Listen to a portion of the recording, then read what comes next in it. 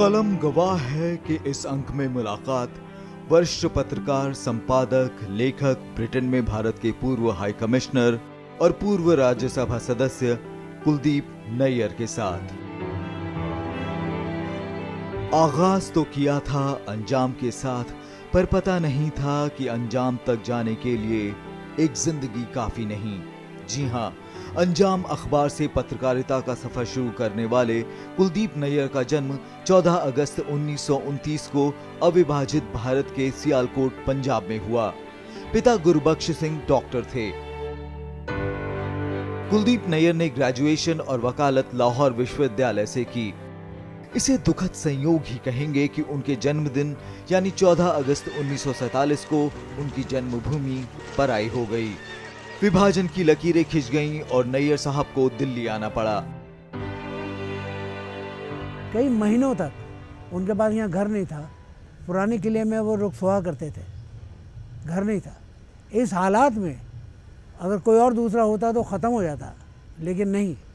इन्होंने अपने आप को संभाला, पढ़ाई की। सेल्फ मेड सबसे बड़ी बात यह है कि सेल्फ मेड आदमी है। कुलदीप नायर। दिल्ली में मुफलिसी के दिनों में ही उन्हें अंजाम में काम करने का मौका मिला, जिसके लिए उन्होंने गांधी जी की हत्या की रिपोर्टिंग की। लेकिन भारत में उर्दू के धूमिल होते हुए भविष्य को देखते हुए उन्होंने अंग्रेज़ी माध्यम का दामन थामा और द स्टेट्समैन में नौकरी कर ली। इस बीच उन्हें अमेरिका की नॉर्थ वेस्टर्न यूनिवर्सिटी के मिडिल कॉलेज के जर्नलिज्म कोर्स में दाखिला मिल गया। खराब आर्थिक हालात के बावजूद उन्होंने अमेरिका जाने का फैसला किया।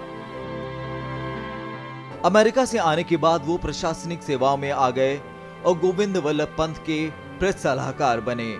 पंत जी की मृत्यु के बाद कुलदीप नैयर, लाल बहादुर शास्त्री जी के प्रेस सलाहकार बने। उस वक्त शास्त्री जी गृह मंत्री हुआ करते थे।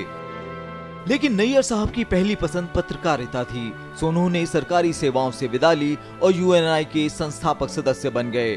वो एजेंसी में संपादक भी थे और बड़ी बड़ी घटनाओं की रिपोर्टिंग भी किया करते थे। He was a very hands on person, and not only was he content with just editorializing, but he also got so many scoops because he used to mix and he knew a lot of people and he had excellent sources. जब उन्नीस में कांग्रेस का विभाजन हुआ तो उन्होंने syndicate का साथ दिया जिसका खामियाजा उन्हें आपातकाल में भुगतना पड़ा उस वक्त वो द इंडियन एक्सप्रेस के संपादक थे उनकी सरकार विरोधी टिप्पणियों के कारण उन्हें जेल तक जाना पड़ा। 1990 में उन्हें ब्रिटेन में भारत का हाई कमिश्नर नियुक्त किया गया। उन्नीस सौ सत्तानवे में वो राज्यसभा के नामित सदस्य बने। नैयर साहब ने अब तक करीब पंद्रह किताबें लिखी हैं, जिनमें प्रमुख हैं, between the line distant neighbours, in jail, the martyr Bhagat Singh experiments in revolution, और एक ज़िंदगी काफ़ी नहीं। आइए कुलदीप नैयर की इस यात्रा का पहला अंक उनके ही शब्दों में सुनते हैं। उनसे बातचीत कर रहे हैं वरिष्ठ पत्रकार और संपादक आलोक मेहता। नायर साहब, आपका इस कार्यक्रम में स्वागत है। और मैं ये जानना चाहता हूँ, चूँकि आपके कई रूप रहे हैं। संपादक, रिपोर्टर, उसके बाद लेखक, फिर राजनीति में आपकी, मैंने, वैसे तो आप नॉमिनेट हुए, लेकिन फिर भी राजनीति में भी आपका एक सक्रिय रोल रहा। और डिप्लोमेट रहे जो बहुत रेयर ऐसा है जो इस तरह की कॉम्बिनेशन हो। सबसे ज़्यादा आपको कौन सा काम अच्छा लगा? पत्रकार। जब मैं रिपोर्टर था वही सबसे अच्छा लगा। क्योंकि मैं देख सकता था कि एक रिपोर्ट लिखी ये तब की बात कर रहा हूँ। और या कॉलम लिखा तो उसका असर देखा लोगों पे। अब ये लोगों का कहना है बल्कि मिसेस गांधी ने भी कहा। ये इंदिरा गांधी के ख़िलाफ़ मैंने काफ़ी लिखना शुरू किया क्योंकि एक डिक्टेटोरियल उनका एटीट्यूड हो रहा था। और स्टेट्समैन की बात है वो। है? हाँ फिर उसके बाद उन्होंने इमरजेंसी लगाई। तो बाद में मिसेस गांधी ने कहा किसी से कि ये सब कसूर इस आदमी का है ये जो कॉलम लिखा और ये मुझे बहुत तंग किया। और मेरी जो शासन है या मेरा काम करने का वो सब इसका जो इसकी टीका टिप्पणी से मुझे बहुत तंग आया और लोगों पे बहुत असर पड़ा। तो ये एक मुझे करना पड़ा। नहीं ये तो खैर आप इंदिरा जी से पहले मैं वो जानना चाहता था कि आपने तो शुरुआत की कि पहले अखबार थोड़े दिन बेचा हाँ। फिर आप उर्दू अखबार के अंजाम के संवाददाता रिपोर्टर बने। उस जमाने में मतलब 48 इयर्स 48 हाँ, और नहीं, 9 बात होगी 47 की बात। 47 देखिए की ना, बात होगी तो उस समय में रिपोर्टिंग करना मतलब जैसे कहते हैं और ख़ास करके उर्दू पेपर हाँ। में पार्टीशन के बाद जो कम्युनल चार्ज माहौल था सांप्रदायिक तनाव उस समय में कैसे आप उर्दू के अखबार को तो माना जाता था भाई बहुत प्रो मुस्लिम होगा और आपको यहाँ हाँ। नहीं, नहीं, रिपोर्टिंग करना मैं आपको बताता हूँ बहुत इज़्ज़त से देखते थे खैर क- मैं वैसे भी पढ़ा लिखा बहुत एल एल भी था। लेकिन दूसरा वो ये कि भाई एक हिंदू है वहाँ से सब उजड़ा उजड़ा और ये हमारे साथ काम कर रहा है तो उनको इस बात का पास था कंसिड्रेशन थी। अ, तो जब आप बैठ के आप काम वाम शुरू किया तो बहुत दोस्त वोस्त हो गए। तो उन्होंने कहा भाई देखो कभी हम लोगों ने उर्दू अखबार ने ये कोई रिपोर्टिंग कभी नहीं की। हम वही ले लेते हैं पीटीआई से तो वो तो हम आप रिपोर्टिंग शुरू करते हैं तुम किया करो। तो जब गांधी जी के- क्या देहांत हुआ गोली लगी तो मैं याद आया कि मैं डेस्क पे बैठा हुआ था तो उस वक़्त ये जो बहुत बड़ा होता था तो उसका घंटी बजती थी वो जो पीटीआई की वो पीटीआई वाले थे। वो टेलीप्रिंटर होता था। हाँ टेलीप्रिंटर। तो वो वही तो देखा गांधी शॉट। तो मैंने कहा भाई मैं देखिए रिपोर्टिंग कराऊँगा तो मैं चलता हूँ। तो मैं तो वहाँ गया। अब मुझे याद है अभी तक कि भाई बिरला हाउस में कोई सिक्योरिटी तो नहीं सीधा चला गया। वहाँ एक थोड़ा सा रेस प्लेटफॉर्म सा बना हुआ उस पर गांधी जी की की बॉडी पड़ी हुई थी। अब साथ मुझे याद है कि एक दायरा सा बना, जिसमें पंडित पंत, जिनका बाद में मैं इंफॉर्मेशन ऑफिसर बना, वो पास ही थे, और भी थे, और मेरे वक्त होते हुए लॉर्ड माउंट बैटन आए, उन्होंने सल्यूट किया बॉडी को। जवाहरलाल नेहरू, सरदार पटेल सब बैठे हुए थे। और ये कि, ये समझ नहीं आ रही थी कि ये बापू के मरने के बाद अब क्या होगा? क्योंकि हाँ ये तो किश्ती हमारी खींच के ले आया दरिया से अब, और ये कि भाई अब आज़ादी भी दिलवा दी। लेकिन आगे क्या होगा? ये ये भी उस दिनों में ज़ाहिर था कि भाई सरदार पटेल और जवाहरलाल नेहरू की बहुत बनती नहीं आपस में दोस्ती। तो आपने सरदार पटेल- उसकी रिपोर्टिंग की जो सारा दृश्य देखा। हाँ वो मैं बताता हूँ स- सरदार पटेल जो थे वो ज़रा समझे जाते थे कि भाई प्रो हिंदू। प्रो हिंदू हैं। तो सर मुझे याद है सरदार पटेल ने इस्तीफ़ा दे दिया कि जब पंडित जी तो वो गांधी जी के कि भाई मेरा फेलियर है। तो पंडित जवाहरलाल नेहरू ने कहा, नहीं भाई, अब गांधी जी ने हम दोनों को चुना था, हम तो दोनों इकट्ठा रहेंगे, जो भी हो, अब अच्छा बुरा, इसमें तुम्हारा क्या कसूर? लेकिन मैंने वो नज़ारा देखा, उस पर रिपोर्ट किया भाई गांधी जी से ये, वो मैंने वो जगह देखी जहाँ पे गांधी जी चल के आए थे और वो घास कैसे दबी हुई थी वहाँ खून के कोई धब्बे भी थे तो आके रिपोर्ट तो किया। लेकिन उसी रात एक दमगे हुए फसाद पुणे में। तो अब मैं डेस्क पे बैठा हुआ था। ये तो कोई बहुत फ़र्क नहीं था रिपोर्टिंग की अब अच्छा। डेस्क पे। तो मैंने वो खबर जो थी मैंने कहा देखो ये अभी अभी गांधी को मारा अब आपस में फिर शुरू हो गए हैं। तो मैंने वो फाड़ी तोड़ दी दूसरे दिन सुबह वो एडिटर जो थे यासीन साहब तो उन्होंने कहा ये हमारी खबर रह गई। नहीं आई। दंगे की खबर आपने नहीं दी। मैंने कहा जी मैंने नहीं दी। क्यों? मैंने कहा, देखिए, दंगे फसादों से तो गांधी जी का हुआ, फिर वही निकाल कहता है, देखो बरखुरदार अब तुम शुरू हो रहे हो। हमारे जर्नलिस्टों का काम जो है, एक अजीब सा है। हम एक आँख है जो कि रीडर्स की है। अब रीडर तो वहाँ मौजूद नहीं होता, लेकिन रीडर की हम आँख है। और अब अगर हम ही जो देखें और रीडर को ना बताएँ तो फिर दयानतदारी नहीं है तो बेईमानी होगी इसलिए जो भी अच्छी बुरी खबर हो तो हमें तो तब से मैंने ये सीख लिया कि भाई ये जो है, अपना काम जो है, वो रिपोर्ट करना है ऑब्जेक्टिवली कोई इस्तेहाल से नहीं तो वो वो एक जो सबक है, वो बहुत काम आया ज़िंदगी में। लेकिन नायर साहब ये जो आप चूँकि गोविंद वल्लभ पंत जी और शास्त्री जी के हाँ, साथ तो रहे हाँ, और मैं लेकिन ये जानना चाहता था कि मैंने आपको जो पढ़ा कि शास्त्री जी को भी आपने कहा कि भाई लिख कर के कमा सकते हो पैसा। शास्त्री जी को मैंने कहा भाई अब चलिए। तो कहने लगे भाई ये गुज़र कैसे होगा? मैं क्यों? मेरे पास तो कोई पैसा नहीं ये सही भी था।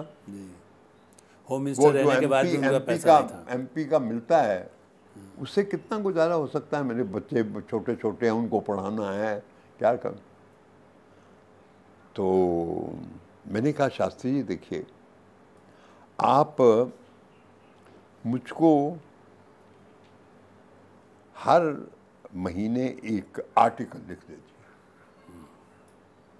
कहते मैंने लिखा ही नहीं कभी। मैंने कहा ये नहीं जैसे भी आप लिखते हैं वो लिखिए। तो पहला तो मैंने कहा कि ये देखिए आप लाला लाजपत राय को बहुत जानते थे कहते हैं हाँ। मैंने कहा एक उन पर लिखिए पहले। फिर उसके बाद पंडित नेहरू पे। तो अब मैंने क्या किया कि मैंने कांटेक्ट किया इधर टाइम्स ऑफ़ इंडिया उधर अमृत बाज़ार पत्रिका होता था आनंद बाज़ार पत्रिका। दिल्ली में हिंदुस्तान टाइम्स और नीचे मद्रास में एक अखबार मेल हुआ करता था। अच्छा। तो इनको कांटेक्ट किया तो मैंने कहा भाई शास्त्री जी का मैं तुम्हें आर्टिकल दूँगा। तो वो वो पाँच सौ रुपया हर एक ने मान लिया। दो हज़ार उन दोनों में बहुत अच्छा तो शास्त्री जी बड़े खुश हुए क्योंकि ऐसे ही आपने यू एन आई हाँ, वो जो इस्टेब्लिश हाँ, भी हाँ, आपने ही की मैंने सर्विस से निकल के वो क्या वजह थी? मुलगावकर चेयरमैन हुआ करते थे। हिंदुस्तान टाइम्स में तो एडिटर थे लेकिन यू के चेयरमैन थे। मुलगावकर मिलता था तो काफ़ी कुछ उनका ख्याल अच्छा था। तो उन्होंने सर्च लाइट एक अखबार हुआ करता पटने में। कहने लगा वहाँ चले जाओ हमारा एडिटर बन जाओ। मैंने कहा जी पटना कौन जाएगा? आप यहीं कुछ कर दीजिए। कहते भाई यहाँ तो वो एजेंसी की हम बात कर रहे हैं तो ये जो पीटीआई एक मोनोपली नहीं हम चाहते ये यू एन आई यू किसी ने शुरू की थी वो बंद हो गई। तो अब यू एन आई तो ये छः अखबार मिलके Hindu Hindustan Time Times of India सब एक्सप्रेस नहीं था बाकी सब। तो मैंने कहा कि कहते हैं कि भाई उसको तुम कर दो। मैंने कहा सही है। अब मेरे दिमाग में देखिए ये था मैंने कहा एक तो पीटीआई के बहुत लंबे लंबे पन्ने वो एक टेक दो टेक थ्री टेक। मैंने शुरू किया कि भाई हम जो जितनी भी कहानी हो कोई स्टोरी हो वगैरह या तो एक तो टेक में नहीं तो दो टेक से ज़्यादा नहीं। लेकिन उसमें आप रिपोर्ट एडिटर होते हुए रिपोर्टिंग भी आपने की बहुत। हाँ उस वक़्त क्योंकि मैं अभी आया गवर्नमेंट से तो मेरे गवर्नमेंट से बहुत कांटेक्ट थे। तो मुझे पता था क्या होता है। तो अब काफ़ी एक्सक्लूसिव खबरें शुरू कर दी ना। तो नायर साहब हम इस बातचीत को जारी रखेंगे और किस तरह से उसके बाद के कई ऐसे मोड़ हैं आपके जर्नलिज़म के भी और इससे हट कर के भी डिप्लोमेसी में रह के या बाद में जिस तरह से नेताओं के साथ अटल बिहारी वाजपेयी से लेके मनमोहन सिंह तक उस संदर्भ में आपसे बातचीत करेंगे। एक छोटे से ब्रेक के बाद। सुबह सुबह वो आए पुलिस वाले। तो मैंने कहा आप देखिए घर कहते, जी, नहीं सर्च वारंट नहीं, हमारे पास तो आपके अरेस्ट वारंट है।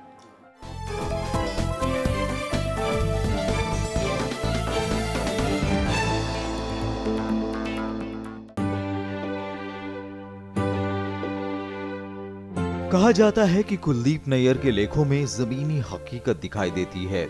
इसकी वजह है, उन्होंने जीवन के हर पहलू को जिया। सियालकोट के संपन्न परिवार से जब कुलदीप नैयर दिल्ली आए तो रिफ्यूजी से ज़्यादा कुछ नहीं थे। उनके पास कुछ था तो वो थी वकालत की डिग्री और कुछ कर गुजरने की चाह। पत्रकारिता में अभी जम भी नहीं पाए थे कि शिकागो जाकर पत्रकारिता का कोर्स करने का साहसिक कदम उठाया। उस हाड़ कपा देने वाली सर्दी में कभी बर्तन साफ़ कर खाने का इंतज़ाम किया तो कभी बहुमंजिला इमारतों पर लटक कर शीशे साफ़ किए। उनके ही शब्दों में कहें तो डर तो लगता था, लेकिन जीने के लिए इस डर पर जीत ज़रूरी थी। शायद इसी जीत का असर था कि कुलदीप नैयर की कलम कभी डरी नहीं। रिपोर्टर और संपादक के तौर पर उन्होंने जो देखा, वो लिखा। उन्नीस सौ उनहत्तर में जब कांग्रेस का विघटन हुआ तो कुलदीप नैयर सिंडिकेट के पक्ष में थे और उन्होंने इस बात को कभी छिपाने की कोशिश नहीं की। उन्होंने इंदिरा गांधी की नीतियों की जमकर आलोचना की। 1975 जब इंदिरा जी ने इमरजेंसी इम्पोज किया, सब लोग बहुत डरे हुए थे।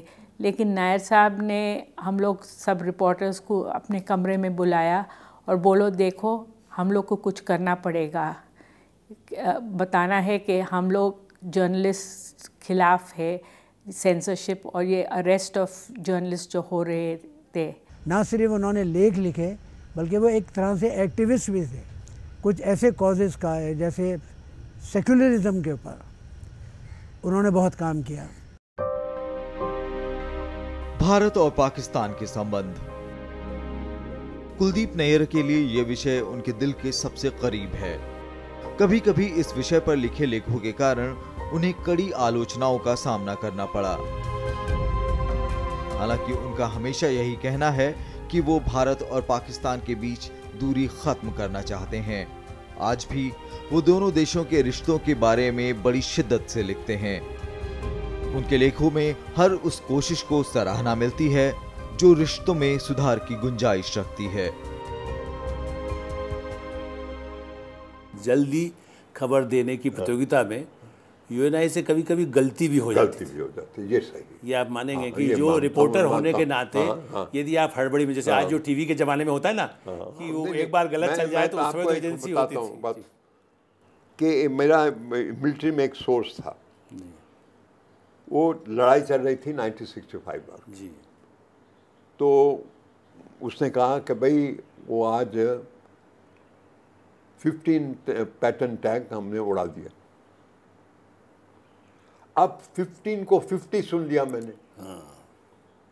तो वो अब चेक तो कर नहीं सकता 50 चला गया वगैरह 50 लेकिन बाद में पंद्रह निकला but but by that time काफ़ी इवनिंग न्यूज़ में आ गया दूसरे में आ गया किया। लेकिन वो एक मतलब ये कि रिपोर्टर एडिटर होने के नाते आपको रिपोर्टिंग मज़ा आया लेकिन कहीं आपको लगता है कि हड़बड़ी में करने के कभी कभी हाँ। नुकसान हुए नहीं असल में कि भाई क्योंकि आप तो स्टेट्समैन में भी हाँ, रिपोर्टिंग करते थे। हाँ, वो तो चाहे वो कैबिनेट हाँ, रिशफल हो रहा है हाँ, ये अब उसमें ये नहीं ये कि भाई मुझे याद है एक्सप्रेस में रिपोर्टिंग करता था ये इमरजेंसी हट रही है मेरा स्कूप था पहले। वो बहुत छपा उस दिन वो बहुत फिर मुझे डिपैना हुआ करते थे यहाँ सेंसरशिप के लिए। तो मेरे दोस्त थे पीआईबी में तो कहने लगे अरे यार, ये क्या खबर तुमने दी? अब, अभी तो तुम्हें कैद से आए हो बाहर, वो वीसी शुक्ला कहता है इसे फिर पकड़ लो। तो मैंने कहा, यार, पकड़ लो, लेकिन खैर, तुम चेक कर लो, खबर ठीक है। तो खैर, वो खबर ठीक निकली। अब, लेकिन उसमें रिस्क ये था कि क्या क्या?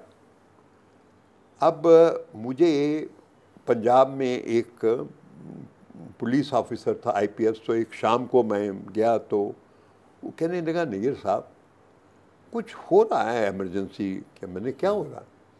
कहते हैं, हमको कहा गया है कि भाई देखो कौन से विनेबल कैंडिडेट हैं, उनके नाम दो। अच्छा अब ये तो बहुत तो मैंने कहा, किससे चेक करूँ? सेशन वगैरह तो ये तो मुझे कोई मैंने ये हमारे ड्यूरिंग दैट इमरजेंसी एक एक्सप्रेस का बोर्ड रिकॉन्स्टिट्यूट किया गया था तो जिसमें कमलनाथ था। तो कमलनाथ उसको उस वजह से और दूसरा पंजाबी के नाते से तो मैं सुबह सुबह उसके घर पहुँच गया, ये जब खबर उसने मुझे शाम को दी उस आदमी ने। तो मैंने कमलनाथ चाय पी रहा था तो अब मैंने कहा कि भाई ये कैसे इससे पूछूँ कि भाई कि वो इससे कंफर्म हो? तो मैंने ऐसे ही पूछा मैंने कहा कमलनाथ तुम तो छिंदवाड़े से मुझे पता लड़ रहे हो लेकिन संजय गांधी कहाँ से लड़ेगा? कहते हैं वो हमने अभी चंद्रशेखर अहमदाबाद में कायदा है तो उसको भेजा है उसके लिए। लेकिन तुम्हें किसने बताया? बस कंफर्म हो गया। तो कंफर्म हो गया। ये जो मैं कह जाना चाह रहा था कि स्टेट्समैन में जिस समय इंसाइट वगैरह या इन्वेस्टिगेटिव रिपोर्टिंग चूँकि इंडिया में एक तरह से वो पहला फ़ेज़ था। हिंदुस्तान टाइम टाइम्स मीडिया तो करता नहीं था। सो वो मैंने उस समय आपने शुरू कराया या मैंने थे अब जो पॉलिटिकल रिपोर्टिंग था ना वो करते नहीं थे। अगर ये कोई गवर्नमेंट से डरता था कोई पार्टी से या अखबारों का रिवाज नहीं था। मैंने शुरू किया मैं याद है कि अब पंडित नेहरू का तो डेथ हो गया। था। अब कौन होगा? सो so, मैं इधर शास्त्री जी को जानता था। शास्त्री जी कहने लगे नहीं को पार्टी में बहुत कुछ झगड़ा है कोशिश कर रहे हैं इकट्ठा होने की। तो मुराद जी के बाद गया तो मुराद जी का वो लड़का जो था कांति उसने कहा मुझे देखते ही। अरे उसको अपने आदमी को लाल बहादुर को कहो बैठ जाए क्योंकि ये तो हम जीत रहे हैं ये लिस्ट वगैरह बताई। तो मैंने आके ये खबर दी कि भाई Morarji Desai was the first to throw his hat in the ring ये एक फ्रेज है। ये तो एजेंसी में दी होगी। हाँ नहीं दिए ना तो ये फ्रेज ये वहाँ अमेरिका से सीखा होगा। लोग उस खबर का इतना हुआ कि मैं जब वो करके अब पार्लियामेंट हाउस गया तो कामराज जब उतर रहे थे सीढ़ियों से मैं वो चढ़ रहा था। तो मुझे कहने लगा thank you very much thank you very much बस। अच्छा।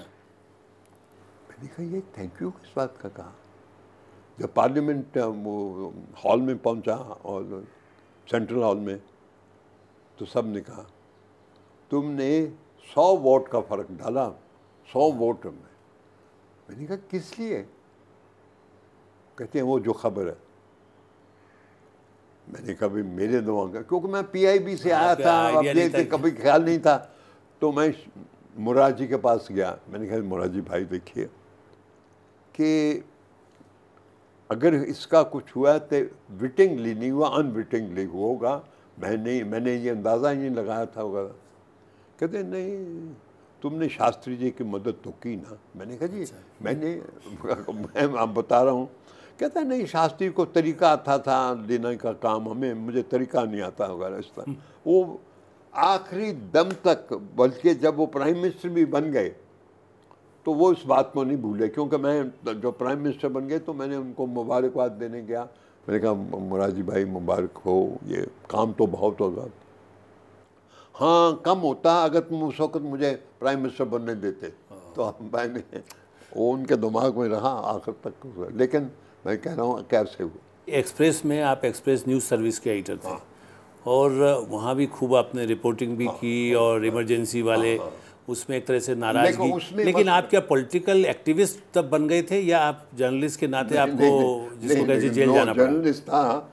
लेकिन अब पॉलिटिक्स में करता था तो इसलिए लोग पॉलिटिकल, लेकिन मैं रहा जर्नलिस्ट ये, मैं नहीं कहता मैं अपने ज़मीर से कह रहा हूँ कि मैं जर्नलिस्ट। लेकिन अब एक्सप्रेस में खुली छुट्टी थी। रामनाथ गोइंका को भी इंटरफेयर नहीं किया। जो इमरजेंसी में मैं कह सकता हूँ कि एक्सप्रेस ने जो रोल प्ले किया, वो बहुत तो और उसका यही कारण था कि हमारे फ्री हैंड थे। और सबसे ज़्यादा रामनाथ गोइंका रामनाथ गोइंका बॉम्बे में रहते थे आए मेरे पास। कहने लगे, कुलदीप, ये तो मैं पता नहीं कह सकता कि भाई क्या तुम्हारे साथ करेंगे। लेकिन जहाँ भी मैं गया हूँ, कांग्रेस वाले तो कहते हैं कि भाई इसको किसी ना किसी तरह कुछ करो। तो कांग्रेस की हुकूमत थी। तो जब वो उसने वार्निंग दी तो मेरा ख्याल था तो निखिल चक्रवर्ती हमारे दोस्त थे। वो ज़रा उनका इस्टेब्लिशमेंट से भी तल्लक था। तो मुझे उसने कहा कि भाई देखो तुम अपने घर में कोई चीज़ वीज़ है तो निकाल दो। मैंने सुना है कि तुम्हारे घर पे छापा लगेगा। जो भी हो दूसरे दिन वो सुबह सुबह वो आए पुलिस वाले। तो मैंने कहा हाँ, देखिए घर। कहते जी नहीं सर्च वारंट नहीं हमारे पास तो आपके अरेस्ट वारंट है। तो मैंने वो देखा अरेस्ट वारंट तो मैंने कहा, चलिए, फिर क्या मिसेस गांधी का इशारा आपकी तरफ़ था। क्या हुआ ये बड़े बड़े एडिटर ये बड़े बड़े तनख्वाह पाने वाले बड़े बड़े नाम? नॉट ए डॉग हैज़ बात अटल जी ने वहाँ तकरीर की। इतनी बढ़िया तकरीर। अगर उस दिन वो वो पाकिस्तान में कहीं स्टैंड करते कि भाई मैं प्रेसिडेंट तो वो जीतने जाए। ये मैं तो आपको बताऊँ कि कायदे जिन्ना से भी मैंने बात की, कि अगर थर्ड कंट्री हिंदुस्तान पे अटैक करेगा तो पाकिस्तान का क्या एटीट्यूड होगा? कहते वो? हम, हमारे सोल्जर जो हैं, तुम्हारे साथ रहेंगे, खड़े होके और खून बहेगा वगैरह। मैंने शास्त्री जी को बताया। शास्त्री जी कहने लगे कि अगर 62 वॉर में मेजर साहब वो आते हैं, उनके सोल्जर यहाँ हमारे साथ मुकाबला करते हैं, खून बहता उनका भी हमारा। बाद में अगर पाकिस्तान कश्मीर माँगता तो ना करनी मुश्किल होती। जब शास्त्री जी अब ताशकंद का हो गया, रात को इनको दौरा पे आना पड़ा और वो अयूब, मुझे याद है, सुबह कोई एक दो बजे के करीब आए तो मैं वहीं मौजूद था तो कहने लगे हियर लाइज द मैन जो हिंदुस्तान और पाकिस्तान को करीब ला सकता था।